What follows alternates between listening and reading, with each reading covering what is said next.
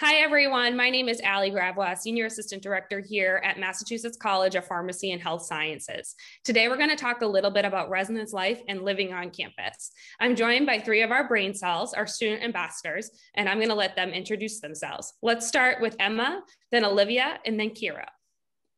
Hi, everybody. My name is Emma. I'm currently a third year student in the pre med physician assistant pathway here at MCPHS, and I'm originally from Simsbury, Connecticut. A little about why I chose MCPHS is because of the location in Boston. So it's a really prime place to be if you're studying healthcare, um, all of the different opportunities you can get at all of the hospitals and facilities nearby. And second is because of the program I'm in. I really like the setup of the three plus three style pathway and the progression into the PA graduate program. Hi, everyone. My name is Olivia, and I'm a second year student in the healthcare management program, and I'm from Bedford, New Hampshire. Uh, so why I chose to come to MCPHS was because similar to Emma, because of the location of the school and because of my major, I wanted to be able to combine my interests of healthcare and business, and um, MCPHS was able to offer that for me. Hi guys, my name is Kiro, uh, and I'm a third year in the PharmD program at MCPHS. Um, I am currently, uh, I'm from Hopedale, Massachusetts, and I'm currently loving MCPHS because of the many opportunities uh, it has given me. MCPHS has amazing opportunities in the area and relationships with a bunch of hospitals and pharmaceutical companies and things like that. Uh, so through that, I was able to get an internship at CVS Health. I was also able to get an internship at Boston Children's Hospital, as well as some shadowing opportunities with some industry and uh, research opportunities. Uh, so yeah. Awesome. Thank you all for introducing yourselves. So let's jump right in. So, how was that adjustment for you from coming from home to living in a residence hall at MCPHS? Um, and what was that transition of living on your own and experiencing the MCPHS on campus housing? So, Emma and then Olivia and then Kiro, could you talk a little bit about that transition? Sure. So my freshman year, I lived in the Fennel Residence Hall, which is kind of a traditional style college dorm. So it's where you would have a double bedroom with two beds, two desks, and two dressers. Um, so the transition from you know living at home to living in a residence hall um, was a good transition. You know, just because it's such a communal style floor, everybody was really in the same boat, and we were really able to kind of work off of one of each um, one another and kind of you know figure out what was wrong and kind of talk about if we were ever having any issues like homesickness or anything like that. Um, but, you know, it was just a little bit different. You know, you're going from eating your parents' home cooked meals to, you know, eating at the dining hall and you're doing your laundry and you're kind of, you know, taking care of your own space. Um, but, you know, like I said, the communal style feel really helped that uh, transition to kind of be really easy for me. And I think all of the, the people I was friends with on my floor. Yeah, so I had a little bit of a different transition just because I, like I said, I'm from New Hampshire. So I came from more of a suburban, rural area um, to a bigger city. So that was definitely a big change. And getting to know the city was kind of frightening at first, but I found that it was really easy, especially since a lot of people um, at MCP are from around the area. Um, but moving into the residence hall, I lived in, in apartment style my freshman year. So definitely um, sharing a room with someone for the first time and especially having a kitchen and learning to cook on my own and doing laundry was kind of an adjustment, but um, it was really great um, to have more of an independent living and especially with having RAs on the floor um, and still having people around you. Um, I found that it was easy to make friends. You could knock on people's doors. Everyone was really friendly. Um, so yeah, I thought the transition went really well. Yeah, personally for me, I had uh, a similar experience to everyone else. I actually had my friends from my hometown, and we were able to request uh, to be roommates together our first year, which is an option for everyone that wants to live on campus and know someone that is also coming to MCPHS. Um, so it was nice to have like a familiar face on campus and like going through the transition with someone I know from before. Uh, that also helped us to find friends together. Like everyone said, the doors were always open. RAs were always having events for people to meet other people. I personally really liked the first couple weeks of moving in because the OLs were able to, or the orientation leaders were able to have like events around uh, Boston where they would take us to uh, go, for example, to, to the Codzilla ride near the seaport or go to the, to the aquarium or do something fun uh, to meet people and to also explore the city, which was kind of awesome. Um, so I personally really, really liked it. And it was nice to see the city and also learn and find other people in the first couple weeks.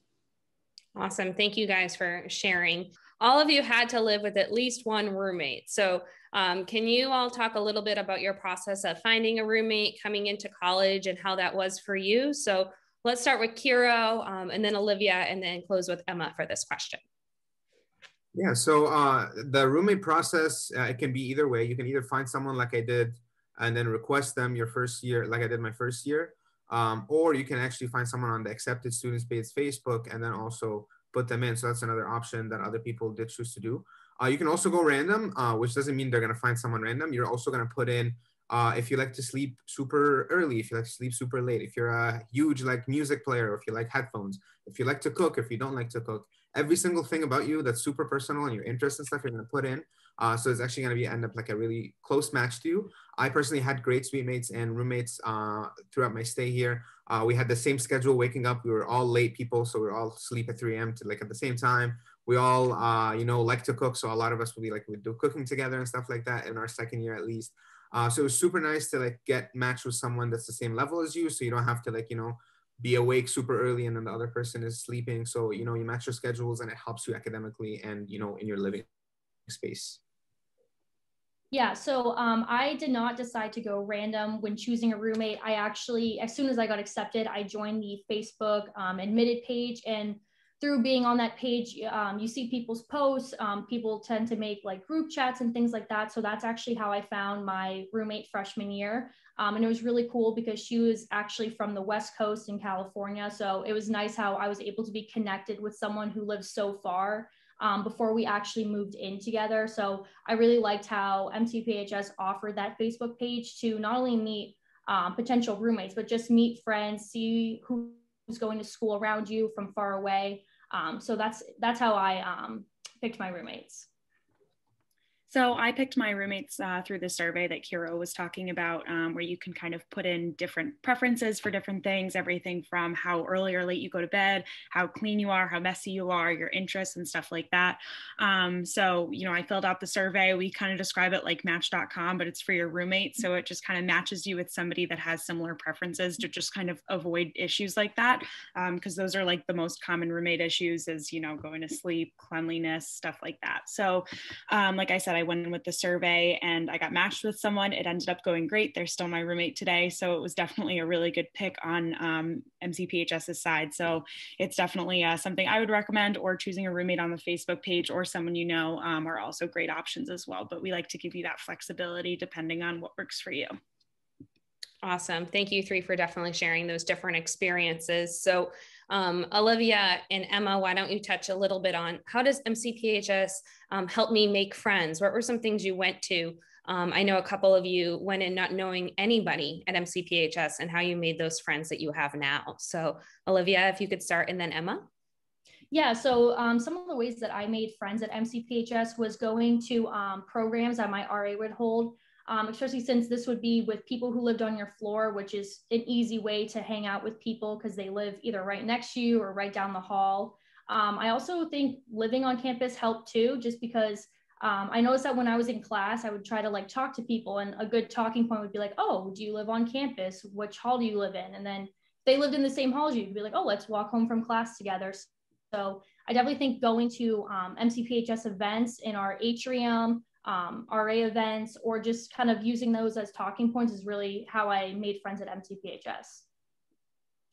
Um, I'm kind of on the same page as Olivia. I did a lot of uh, the RA events, especially my freshman year, uh, just to kind of meet the uh, the people that were on my floor. Especially, um, we did the Spotify bingo night this one night, and our RA brought in all of these different prizes, and a lot of them were like uh, like prizes that were good for your apartment. Like it was like a Febreze plug-in thing for your wall. Um, so it got really competitive because everybody wanted these like fun little apartment things.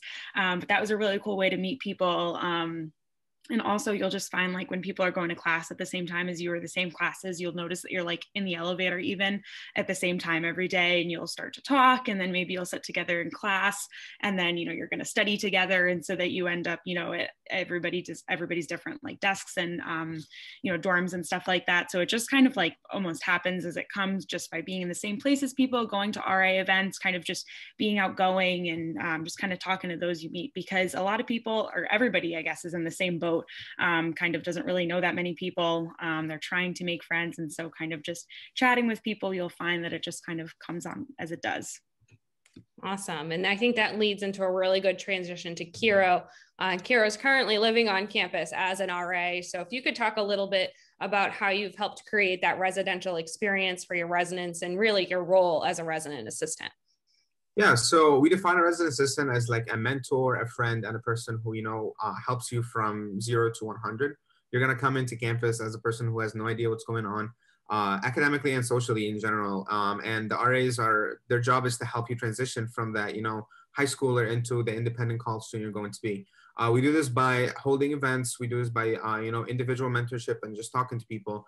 Um, let's just say you need help with a certain academic program or finding a, uh, like, you know, uh, a peer mentor or finding uh, a tutor or anything on campus. Uh, we're equipped and trained to do all of that to help you find those different opportunities and things that you need on campus. Uh, personally, for me, for my uh, for my residents, the, a lot of them uh, were out from the outside. Uh, were were outside of the city. We're from outside the city of Boston, and a lot of them uh, did not, you know, do a lot of things in Boston before. A lot of them didn't know what boba was, so I held like a little boba program we went on a boba run together to a close place behind campus in Mission Hill. Um, and you know, it was paid for by Residence Life, so they all got free boba, which is awesome. Uh, and we just walked together. They found like you know a bunch of restaurants that they didn't know existed behind the the neighborhood that they lived in. Um, the other thing was we went to the Isabella Stewart Gardner Museum together, uh, which is free to all MCPHS students. So you know I didn't have to pay for anything, so I did. Uh, my boss was super happy about that, of course. Uh, so we all went uh, and we visited the Isabella Stewart Gardner Museum. Uh, we walked around. They all took artsy pictures, you know, of course, for the gram and everything like that. So it was really nice. Uh, and they did explore the city in a really nice way. Uh, it was a bit difficult this year due to COVID, but um, you know we did hold a lot of virtual events as well. A lot of my RA uh, co-RAs did hold um, uh, virtual bingo nights. Um, I'm personally holding. I held like a little um, escape room online. Uh, so my theme this year, my floor theme, each RA chooses a floor theme to like make the floor decorated with that floor theme. So I chose Harry Potter for this uh, semester. So we did a little Harry Potter escape room where they, you know, they go into like a little virtual thing on Zoom and they can do it together. Uh, we also did like Jackbox gaming on Zoom, which was really fun. Um, and uh, we also, you know, um, other than the community builders and like the fun things that we do together, we also do serious things. For example, we're doing uh, next week, we're doing a little event for students who are interested uh, in getting on or off campus housing. Um, me and another RA who uh, did have, you know, experience with both of those things, uh, wanted to kind of give them their own perspective on it the school does hold a lot of events for students who are interested in off-campus housing, uh, but the student's perspective is super nice. So me and this other RA are going to be giving them, you know, our own perspective, how we got on-campus housing, how to sign up for that, how applying for it works, uh, all that stuff. And then for off-campus housing, oh, if I want to find a realtor, how do I get started? Uh, what to look for, what how to not get scammed, a bunch of different things like that, you know, uh, are super important. Uh, so me and this other RA are going to be holding that. So uh, being a resident assistant on campus for me, uh, it's a super cool job because I get to meet all of the cool new students, uh, but it's super helpful to the students as me as a student who did use their RA all the time their first year, uh, and as a person you know who sees students that are always needing an RA.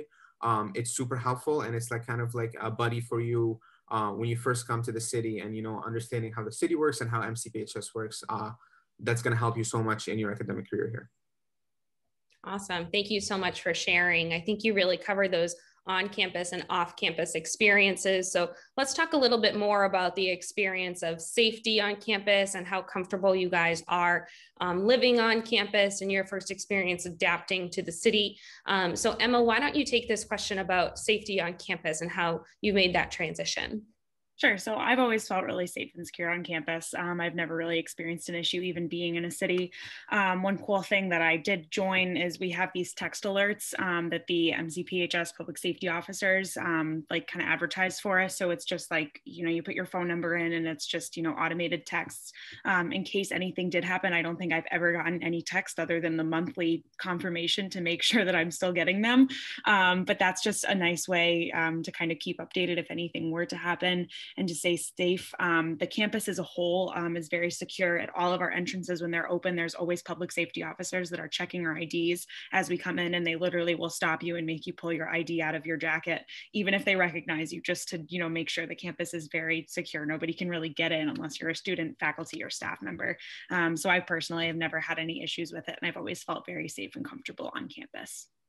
Thank you so much for sharing. And um, we feel that we're in a very safe neighborhood for all of our students. Um, so, Kiro, can you talk a little bit more about some of the fun things you've done as part of your residential experience? Um, and then, Olivia, if you could kind of add on, on as a second year student, what you've learned a little bit about living in Boston and some fun things you've done. Yeah, absolutely. Um, so I always like to tell people I love to explore the city of Boston and different, you know, restaurants and places that are there. So me and my roommates used to like um, use the MBTA. We used to go to the Green Line right in front of our school. We used to take the train, and then we just get off at a random spot and try like a different food there. Uh, super fun. Uh, and then we started doing like boba reviews. So we'd go to different boba restaurants and the boba tea um, like shops around the city of Boston and rate them. Uh, we found a lot of cool spots that you know were outside of our neighborhood, but a lot of cool spots in our neighborhood. So that kind of uh, you know cool explore uh, like exploring event was always uh, something that we did. Uh, we also have discounted tickets to AMC, Regal, um, and uh, the aquarium. So we would always go um, there to like you know have fun and have uh, and you know get a little uh, break during the weekends and stuff like that. Uh, a lot of our students also like to go to the MFA and the Isabella Stewart Gardner Museum, like I mentioned before, because they do have cool cafes for studying and they're super relaxing to see the art around you. Uh, and like it's super super nice to have all these things in our neighborhood uh, in our backyard for fun, you know. So we don't have to always be studying, but we can also study and have fun at the same time. Yeah, and similar to Kiro, I did use the Cardinal booth a lot, um, especially my freshman year to get discounted AMC tickets, um, tickets to the Red Sox games, things like that. And as simple as it is, um, one thing that I like to do for fun here is actually go on walks with my friends. Sometimes we'll just text people on our floor and be like, hey, we're gonna go out for a walk we're gonna just find we found this cool place it's not that far and it's a good way to like get out. Um, i definitely learned the city a lot by doing that and you get to see new places take cool pictures. Um, boston's such a beautiful city um, and you really kind of learn how it's such a big city but in a way it's so small so it does feel like a community so that's kind of some of the ways that um, i have fun on campus Awesome. Thank you so much for sharing that. I think we need to close out on the food on campus for students looking forward to living on campus. So, um, Emma, why don't you talk a little bit about your food experience, you know, having to eat there your whole freshman year? And then, Kiro, I know you're eating there again as an RA and what you look forward to um, in the cafeteria. Yeah, so um, the dining hall is awesome. We have a few different options. We have um, the Mass Art Dining Hall that we share with Massachusetts College of Art and Design. Um, and then we also have Beatty Hall, um, which we share with uh, Mass Art and Wentworth Institute of Technology as well. Um, so both of those offer pretty similar meal options, but there are some differences. And sometimes it's just nice to go to one or the other, depending on exactly what you're looking for. Um, I personally love the deli section at Beatty Hall is my absolute favorite one. they make really good sandwiches there. It's like 10 times better than Subway. Um, so I was like going there. They're always super duper nice to me too. And you can always get everything really personalized as well. Um, and we run on a point system too. So it's nice to, you know, go in there and you're just using your points on what you're getting instead of using a whole swipe um, on something, especially if you're just running in there to like grab a snack or something like that. Um, but that's definitely my favorite section. But there's other sections too. There's a salad bar, you know, with all like farm fresh ingredients. Um, there's like a specialty station. There's a grill station. Um, you know, pastas, pizza station, everything like that. So there's always a ton of variation in the options. And even eating there for a whole year, three meals a day, um, I didn't really get sick of it at all. There's always been, um, you know, a ton of options. And they're also very accommodating for any sort of dietary restrictions. I have a food allergy. And so it was really easy to work with them and figure out what I could and could not eat um, kind of right off the bat in working with them. Yeah, very similar uh, experience to Emma. Um, it, it is nice to have two dining halls. You don't have to like, you know, get restricted with the one. So for sometimes uh, if I go and I don't like the pasta that they have at this one, I would just walk to the other one to get different foods. Um, my personal favorite uh, thing is now at Beatty Hall. Uh, it is Indian food. So they do like a little uh, bowl station where you put rice and you put protein and vegetables, whatever you want on it, which is super nice and personalized. Uh, we also have, you know, like we, uh, we said, the pizza stone and all that stuff. Other than that, we also have a little, um, uh, the Crossroads Cafe inside of MCPHS if you want to grab like a quick snack, something to drink a slice of pizza, some soup, anything like that. Uh, it's not a full uh, dining hall, but it's good for snacks and something between uh, classes. We also have the C store next to Treehouse, which is like a convenience store to go to. You can grab things uh, with your meal points, uh, like snacks, cleaning supplies, toiletries, a bunch of things like that, which is really nice. Uh, we also have um, Starbucks inside of Beatty Hall and Peet's Coffee inside of Mass Art Dining Hall or Kennedy Dining Hall. So those two uh, you know, we're always getting our coffee, which is going to be necessary. So it's good to have it included in our meal plan, which is super nice. Uh, so you always have the options and you always have, you know, the option to split or to not get the same thing every single day or to go to a different place every single day. Awesome. Well, all three of you shared some really unique experiences about living on campus and residential life. So thank you to the three of you for sharing those. Um, we're going to go to a presentation by Irene Stefanakos. Uh, she's our director of residence life along with one of our RAs, um, Zofia, and they will talk a little bit more details about some of the things we discussed today. So thank you so much for joining us and congratulations on your acceptance. Welcome everyone to this presentation for residence life at MCPHS. My name is Irene Stefanakos and I'm the Director of Housing here on campus. I'm gonna let Zofia, a wonderful RA of ours, introduce herself as well. Hi, everyone. I just wanted to first congratulate you on your acceptance. Um, I can't wait to hopefully see you guys in the fall. Um, I'm Zofia. This is my second year as an RA, and I'm a fourth year in the PharmD program. We're going to get started by talking a little bit about each of our four residence halls that we have on campus. And we're going to start out with Matricaria. Matricaria is conveniently attached to our main building. Um, it is apartment style, and we have each apartment has about two bedrooms, housing four students. Um, with a full kitchen, living space, and full bathroom in each apartment. There's a study lounge on each floor, laundry and mail on each floor, and we have 24 hour security in this building. Our next residence hall is going to be Fennel. Um, this is a traditional style residence hall, but so what you think of like first years when they're coming into college, um, there's normally about two to four people per room. We have kitchenettes on the fifth and seventh floor, as well as a laundry room. I really enjoyed living here um, because I just feel like it fo- um, fosters a great community. I lived here last year as an RA, and I feel like my residents really got to get to know each other. I think the fact that you have to leave your room to go either eat or go to the bathroom, you really get to run into a lot of people, and that's how a lot of people end up making connections. And it's really great to start off with such a great support system from the get go. And we also have 24 hour security um, in the lobby of the building as well. And our next residence hall is going to be Treehouse.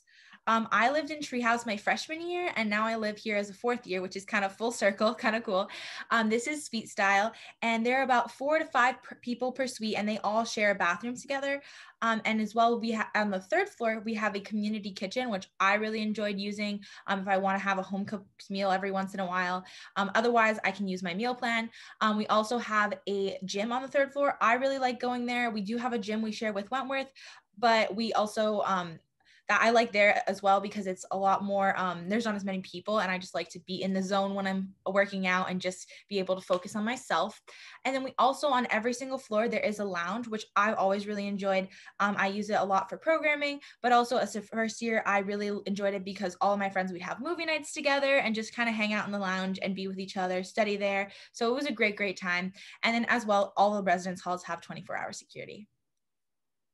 And our last residence hall is the new residence hall. This is also apartment style living um, and is primarily for our upper class students. So if students receive housing for their second year, they usually live here. Um, this is usually about two bath two bedrooms with a full kitchen living room and two bathrooms um, and the coolest thing about these apartments is they were built with um, laundry, so washer and dryer within the unit, so you don't have to go anywhere to do your laundry. Um, the first floor features a really um, nice open space for studying and for hanging out, um, including a small gym and a dance studio that's accessible to everybody that lives um, within that residence hall. And again, there's 24 hour security within that building. So, in terms of fun things to do, we have a lot of things to do on campus and off campus. Um, as an RA, we host a lot of programs to help foster community. Um, we um, have a lot of programming um, that we like to do on campus and off campus. Also, we have uh, cooking classes that are in Treehouse. I actually went to one my freshman year and we made like cold peanut noodles, which I didn't think I'd like at all, but actually they were really, really tasty. And I like try to like recreate it after, which is super fun. Um, we also have discounted tickets to the Bruins, Celtics, and Red Sox games. Personally, I am not the most sporty person, but I went to a Red Sox game um, like two years ago, and it was so much fun. Just the energy in the room was just so incredible, and like everyone just singing "Sweet Caroline" together was just oh, it was a blast. So I definitely recommend. Um, and then we also have a free admission as MCPHS students. We have free admission to the Isabella Stewart Gardner Museum, as well as the Museum of Fine Arts. Um, and one of our professors even offered us extra credit to like be able to relate the art concepts to organic chemistry. So that was a blast of like learning how to like um, mix the two, which was super fun. And also um, in Boston, we have a lot of um, diverse food and restaurants. Me and my friend, actually, one of our goals um, this year was like trying to uh, find new places with different types of food. We went, um, we have like a whole checklist of restaurants we want to like explore this year and like before we um, end up leaving Boston. So it's just a great time. We went to the North End and got like super good Italian food. So if you need to know places, let me know. Um, and then we also have the Cardinal booth, which sells discounted movie tickets. I love going to the movies and it just makes it a lot more accessible. We also have discounted tickets to like um, the aquarium and like a bunch of like they had rock climbing at one point. So just a lot of great things to do to stay active um, and then just like explore the city because we do live in the center of Boston and that's like a really great um, thing to have. So yeah. So we talked a little bit about having security in each residence hall. Um, all students, faculty, and staff wear lanyards with our ID cards around our necks while we're on campus. Student lanyards are maroon and faculty and staff lanyards are black. Um, each residence hall um, student receives access with their ID card to their own residence hall. So you can only access your building if you live there. Um, and then we have 24 hour security at each residence hall, which is usually a combination of uh, a public safety officer and a student, a student desk attendant where you can sign in your guests. They check to make sure that you do belong in the residence hall before you go upstairs. And then you also receive a key, which gives you access to your own living space. Um, we also have some um, complimentary shuttle and escort services through public safety. So if you're off campus and you need to get back and you're having a hard time doing that, public safety can work with you to either pick you up or um, they offer escort walking or driving services to um, local apartments if you're you know stranded on campus and need to get back um, and in terms of like the responsibilities in RA, one of our main jobs is to really just foster a community within the residence hall. Um, currently, we have 24 um, resident assistants that we each have our own floor, and we kind of plan different programming um, and ways for the students to meet each other. Um, and I think, as I said before, like may, having a support system is really, really important in college, and like getting to know people because we're all coming from all around the world. Personally, I'm from Hawaii, so like it was really important for me to find like people that I really um, like and like can talk to. And so that's like part of our job to help the students do that um, and really just foster that connection. Personally, like I really like the job because it like feels like, you know, you're being a mentor, a leader, and like a community builder. And for programming, um, personally, I have done um, this year, I've done some virtual game nights, which were really big hit, as well as um, movie nights. And then this week I'm going to have like a bingo night. So they're really excited. And um, last year I had an ice skating program because I'm actually a figure skater and I got to teach a few of my residents some tricks. So that was super fun. It just was nice. We all got to take cute pictures together. And then we also, I also did a, um, the school offers spin classes. And so me and another RA um, collaborated with a heart association club on campus. And we got to have like a fun night where we all, me and our residents and like everyone, we all got to sweat together. So, you know, just building great connections all the time.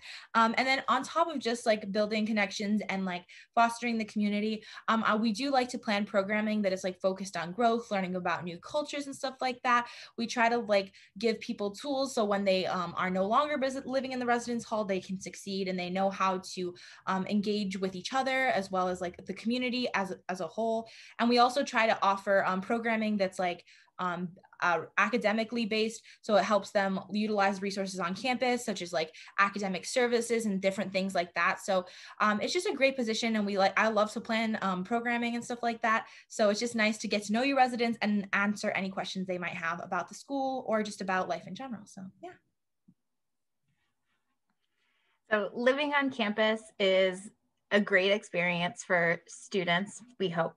Um, we like Zofia explained so many times, the RAs spend a lot of time and energy putting together programs so that students can build a community, get to know each other, and hopefully learn something new and grow within their living spaces.